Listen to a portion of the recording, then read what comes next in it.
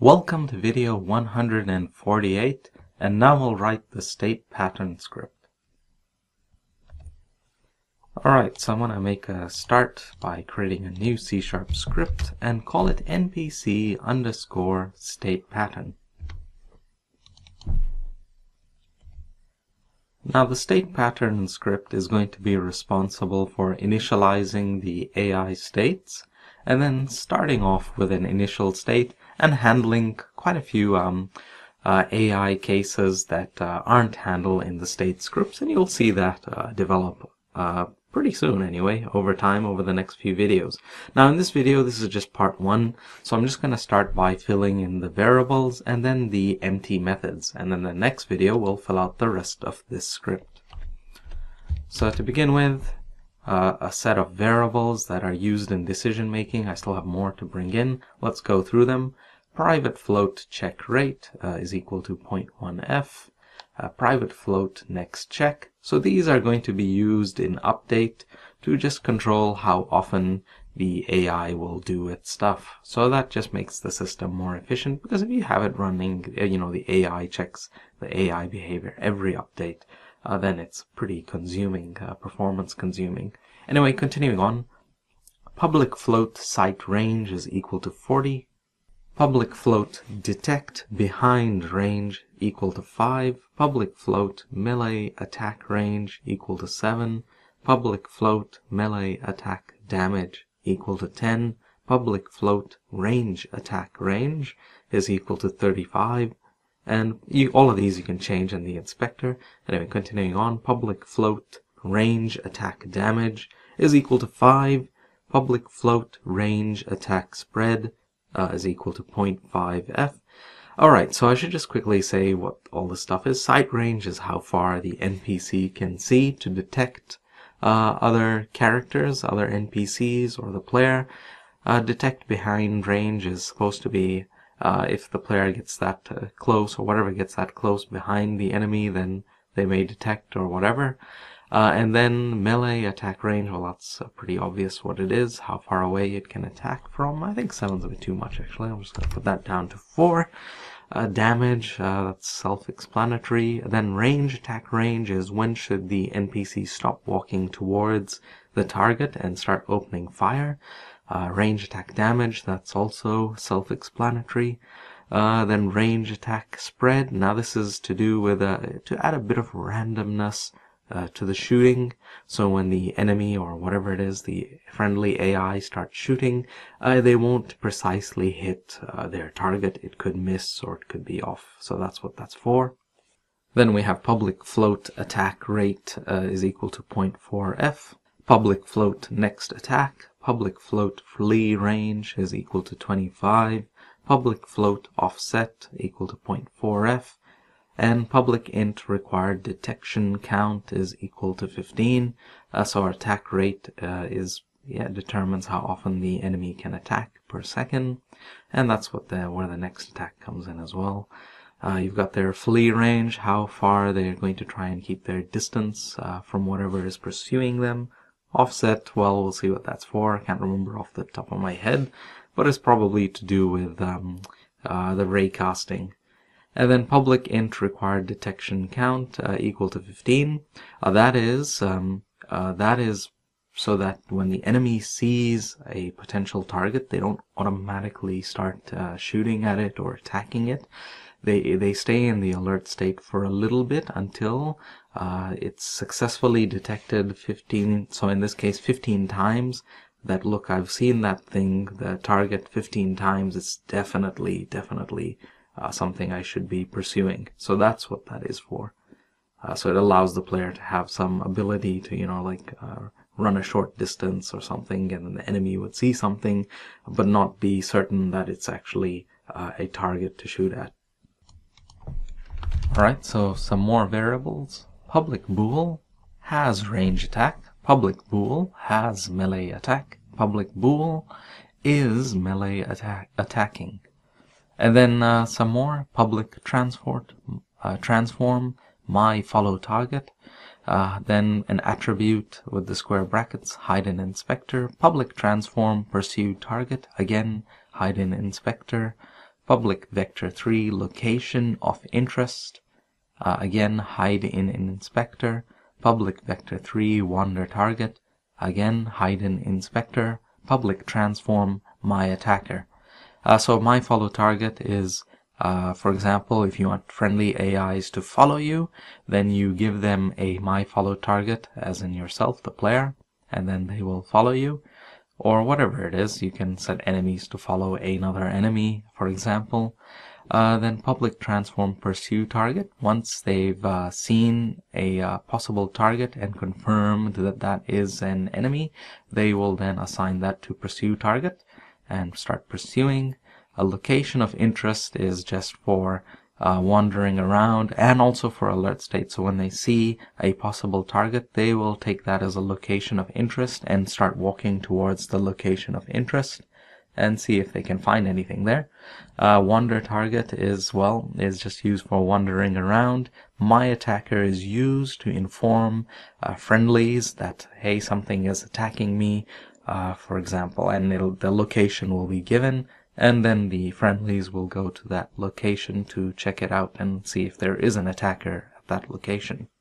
Okay, well still heaps more variables to go. Now these are used for sight, public layer mask, sight layers, public layer mask, my enemy layers, public layer mask, my friendly layers, public string and array, so square brackets, my enemy tags, again another array, public string, my friendly tags.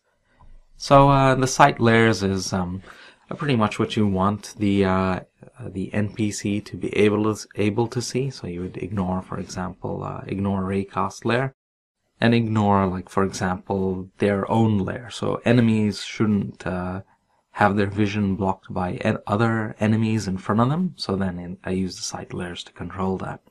And then my enemy layers, that's very obvious. So for example, for an enemy NPC, the player a layer would be an enemy layer, uh, my friendly layers. Uh, so then, in that case, like the, uh, for the enemy AIs, and other enemies who are in the enemy layer, they're of course friendly to them.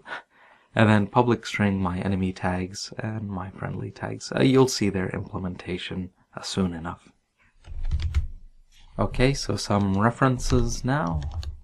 So we have here public transform and array square brackets, waypoints, public transform head, public mesh renderer, mesh renderer flag, public game object, range weapon, public NPC master, so a reference to the NPC master script, just call it NPC master, and then a square brackets and attribute hide in in inspector, public nav mesh agent, my nav mesh agent.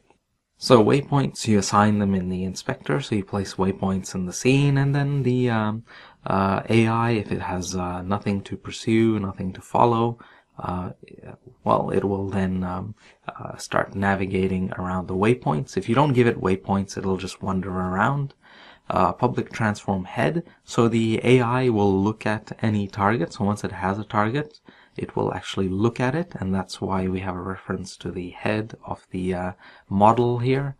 Uh, the mesh renderer flag, uh, the cubes above the um, AIs, they're just for us, for the our debugging really, just to see that um, it's behaving correctly. So we'll see green for patrol and etc. Uh, the range weapon, public game object range weapon, that is uh, the weapon that the NPC carries and will be a part of um, later on. We'll see it get once it implemented all the way at the end of the chapter. They will use the NPC will use that range weapon for attacking. Uh, and then, of course, NPC master. That's uh, nothing to say there. And nav mesh agent. Once again, nothing to say there except it's the nav mesh agent on the uh, prefab. Okay, still quite a few more variables to go.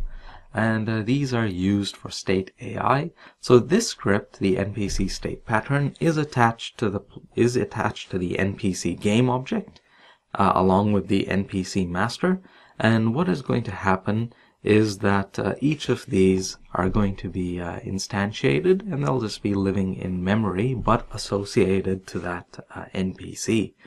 Then let's go through them. So public NPC state interface, uh, current state. So this is what we'll use. So what I'm going to do is I'll in update, I will say that whatever the current state is, run the update state inside of that script. So that allows us to have all of these state behaviors but only one of those scripts is ever running at a time. There's no update method in them, so we're not wasting any resources doing any kind of checks. So it makes our AI system uh, more sensible and more efficient and also easier to debug as well. Uh, the next public NPC state interface, captured state, public NPC state patrol, so that's a reference to the patrol script, patrol state, public NPC state alert, alert state, public NPC state pursue, pursue state, public NPC state melee attack, melee attack state, public NPC state range attack, range attack state, public NPC state flee, flee state, and you can see the others. So next one is NPC state struck, so struck state, NPC state investigate harm, investigate harm state, and the follow, follow state. Now to make things easier for myself, while recording this video, I'm just going to get rid of these methods and paste in the empty methods that I'm going to need. Uh, so let's start with them. So void awake, you'll need that. Void start, void on disable, void update, void set up state references, void set initial references, void carry out update state, void activate patrol state, void activate flee state, void activate struck state, and pass in a parameter int dummy. You'll see that later. It's to do with the uh, damage application, and then it's always passed a, in those events, it's always passed a int. In this case, you don't need the int, you just need the to listen to the event. But anyway, you'll see that later. Uh, then a uh, IEnumerator, so a coroutine I enumerator, recover from uh, struck state and I just put inside so it doesn't throw up an error while we're working away. Yield, return new, wait for seconds, and I just passed in 1.5. Ooh, I hard coded that. That's pretty bad. But uh, yeah, you can make a variable up above if you so wish and put in the uh, time to wait there. And then uh, public void on enemy attack. This is called by the melee attack animation. So this is back from the uh, uh, from the uh, past when we set up the enemy uh, scripts in the past in a previous chapter we had set a event on the uh, melee attack animation for the golem and that event will uh, look for a method called on enemy attack and that's what that is. It's just simply carrying over.